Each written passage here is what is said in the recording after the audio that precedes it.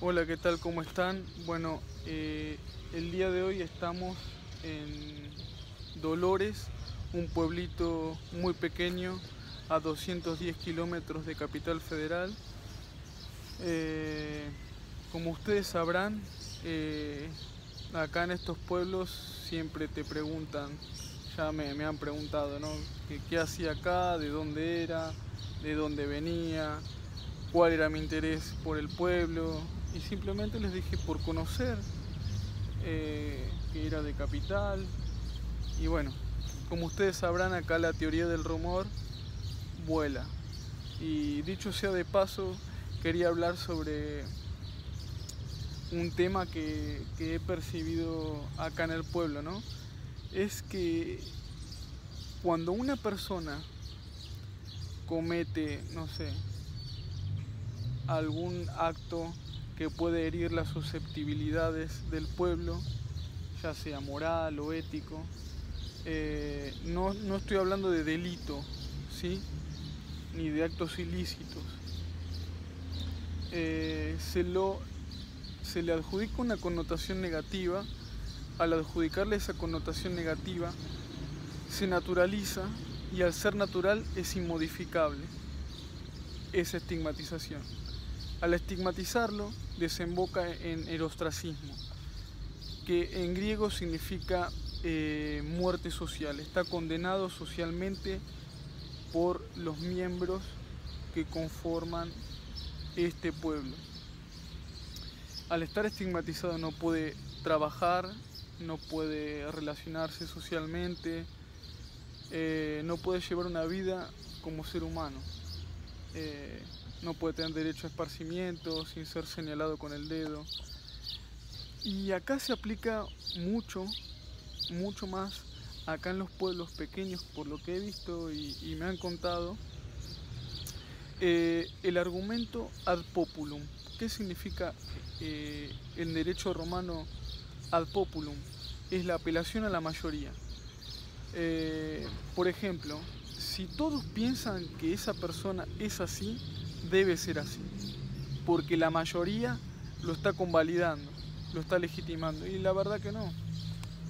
Eh, no hay pruebas fehacientes, lógicas, sino que es eh, un pensamiento, un argumento de posverdad, ¿no? La posverdad es aludir más a las emociones que al razonamiento. Eh, y otra cosa más, eh, los argumentos ad hominem, como por ejemplo la adjudicación de connotación negativa hacia una persona del pueblo eh, para que sea estigmatizada, es por ejemplo decir, bueno, esa persona es, no sé, adjudicar una connotación negativa, ¿no? Es tal, tal cosa. Y ya con eso, esa persona, por más de que eh, razone intelectualmente, ya su argumento está totalmente eh, invalidado, ¿no? deslegitimado. Eh, entonces, ahí también las personas desembocan en un argumento verecundiam. ¿Qué significa esto? Un grupo muy reducido de personas tienen el poder judicial, político, social, cultural. Eh, es muy difícil en el pueblo revertir una crítica negativa. Acá se vale más la reputación, eh, el chisme, antropológicamente, el chisme, pero es como el viento.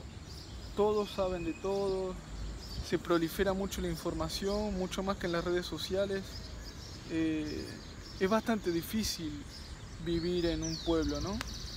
Porque una persona no puede llevar una vida de privacidad tranquila y en, en, la intimidad que ya quieren saber todo de todos, eh, es bastante complicado. Eh, bueno, quería hablarles un poco de, del derecho romano y aprovechando que estoy acá en este pueblo, eh, decir cómo funciona la, lógica eh, cultural, ¿no? Y analizando sociológicamente los tipos de poder, ¿no? Poder de control y poder disciplinario que lo lleva no el aparato judicial, sino el mismo pueblo. El mismo pueblo es el que te acredita, es el que te legitima y es el que te estigmatiza. Y ya cuando te estigmatiza, te tenés que ir a otro pueblo porque ya no podés estar en sociedad. Eh, así que bueno, esto también se aplica a los medios masivos de comunicación, ¿no? como radio, televisión. Eh, cuando ellos eh, siguen una línea editorial, tienen el derecho a convalidarte o a invalidarte. Cuando te adjudican una connotación negativa es muy difícil salir de él. Así que bueno, eso es todo lo que les quería decir, indicándoles cómo es el pueblo. Ahí hay una iglesia, está la famosa pirámide central en la plaza, eh, hay una escuela, la municipalidad y bueno, y nada más. Y la gente que acá me está mirando, este, qué hace este hablándole a la cámara. Así que bueno, a mí como no me da vergüenza ni nada, yo lo hablo y, digo eh, el análisis que hice en, en este periodo que estuve acá. Este, no es una mirada reduccionista, porque hablé con, varias personas de cómo, cómo, es el pueblo y se siente muchísimo más acá este, la mirada del otro. ¿no? Hay, hay dos conceptos en antropología que se llama otredad y mismidad. Cómo eh, en nosotros, la mismidad ¿no? del pueblo, mira con recelo, mira con otredad al otro, ¿no? al que no es del pueblo o al que está ya estigmatizado. Eh, es, muy interesante, ¿no?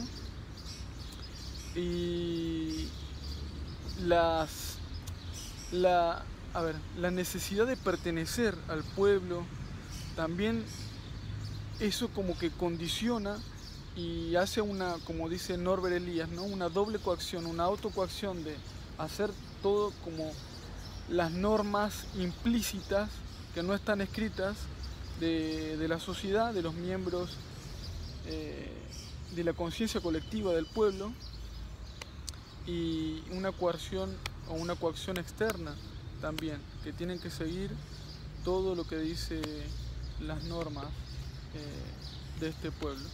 Así que bueno, este, los dejo hasta acá, les mando un saludo grande y hasta luego.